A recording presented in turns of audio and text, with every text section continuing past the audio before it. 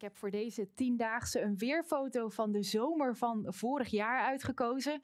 Met een specifieke reden, want toen deze foto werd gemaakt, hadden we te maken met een hittegolf. En ondanks dat het nu nog vroeg in de zomer is, stijgt de kans op een hittegolf als we dat de afgelopen dagen zo naast elkaar leggen. Dus dit is een mooi moment om eens te gaan kijken hoe groot die kansen precies zijn, hoe warm het gaat worden in ons land en ook wat er de periode daarna gaat gebeuren. Afgelopen tijd hadden we met een noorden tot noordoostenwind te maken. Vooral in de noordelijke helft van het land was het daardoor nog behoorlijk koud voor de tijd van het jaar. Maar donderdag wordt het startschot gegeven van die warmere periode. Gaat ook eindelijk in de noordelijke helft van het land die 20 graden bereikt worden. En we zullen echt al merken dat het wat warmer begint te worden. In het midden en zuiden van het land een zomerse dag met 25 graden of meer. Komen wat stapelwolken tot ontwikkeling en heel lokaal kan dat tot een enkele regenbui uitgroeien. En dat warmer worden van de atmosfeer, dat hebben we te danken aan een verandering van de stroming. We raken die noordelijke aanvoer over de koude Noordzee raken we kwijt. Ook die maritieme luchtsoort raken we kwijt. Want het hoge drukgebied dat de afgelopen tijd zo bepalend was voor ons weer, de kern van dat hoge drukgebied gaat in oostelijke richting wegtrekken. En dat zorgt ervoor dat wij met een oostelijke wind te maken krijgen en ook met de aanvoer van een andere luchtsoort. We krijgen te maken met een drogere, warmere continentale luchtsoort. En in die andere luchtsoort kan de temperatuur ook verder gaan oplopen. Op donderdag in het zuiden en oosten van het land, ook in het midden van het land, dus een zomerse dag met 25 graden. En de dagen daarna houdt die aanvoer van die warme lucht stand. En vooral op zaterdag en zondag worden dan de hoogste temperaturen berekend met 30 graden of zelfs nog wat meer. Nou, en om van een hittegolf te spreken moet het tenminste vijf dagen lang warmer zijn dan 25 graden. En daarvan moet het tenminste drie dagen ook warmer zijn dan 30 graden. Nou, wat is de kans op 30 graden? En ik heb deze pluim van het zuidoosten van het land uitgekozen. Daar is de grootste kans op de hoogste temperaturen. Nou, dat we zomerse warmte gaan krijgen, daar is geen speld meer tussen te krijgen. Zowel op vrijdag als zaterdag 100% kans op 25 graden of meer.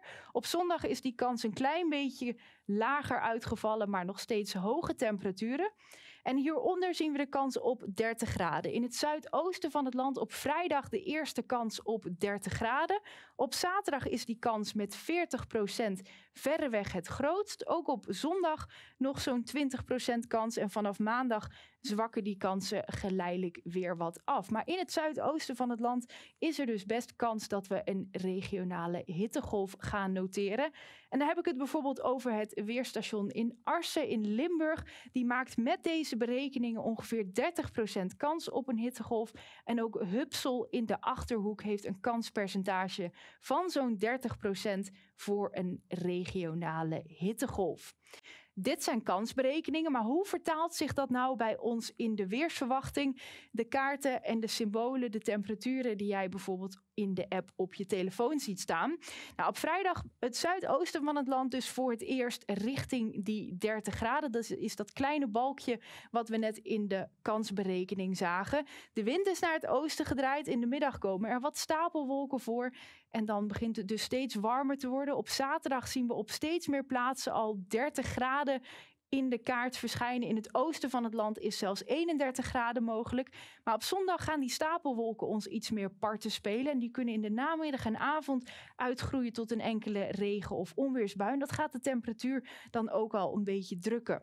Maar de piek van de warmte zit dus op vrijdag, zaterdag en zondag. Met in het oosten van het land op zaterdag zelfs kans op 31 graden. Maar hoe gaat het op de lange termijn dan verder? Houden we die warmte nog even vast? Ga ik heel snel eventjes door die komende dagen heen. Dat hoge drukgebied trekt weg naar het oosten. We krijgen die warme oostenwind.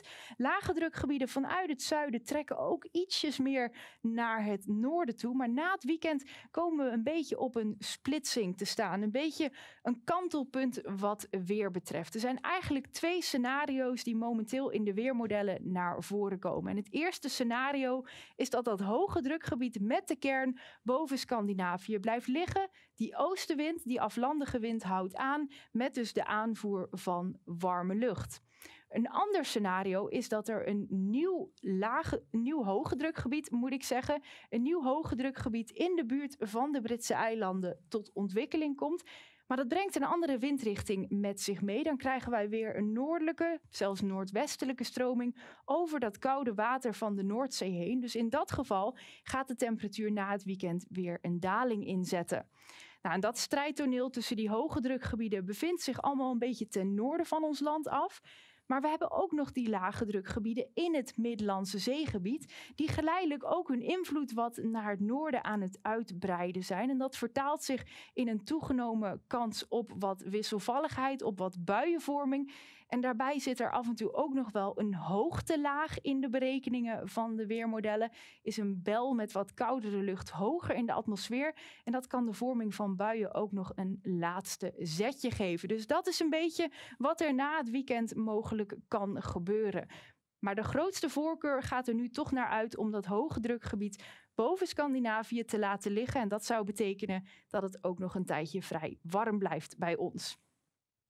Als laatste nog even de wisselvalligheid, want die lage drukgebieden vanuit Zuid-Europa gaan hun invloed iets meer naar het noorden uitbreiden.